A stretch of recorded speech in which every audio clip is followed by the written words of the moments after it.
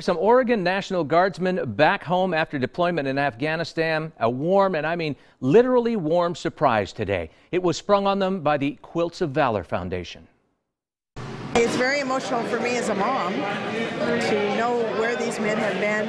In this case, it's just men. They gathered at the Hillsboro Armory, soldiers and those who cherish their sacrifice. It's our privilege to serve, honor, and comfort you. Some friends for years. I've known him since he was 10, and he was actually about my height. Others. Thank you for your service. I truly appreciate it. For just minutes.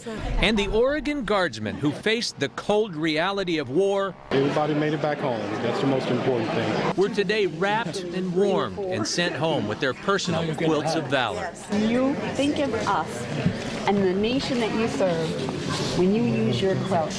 And I can hug you. Thank, Thank you. so much for your service. Thank you. And welcome home. I noticed some of the guys, they weren't ready for it. It is, it's emotional. I mean, you're being wrapped in this cloak. To serve honor and comfort upon you.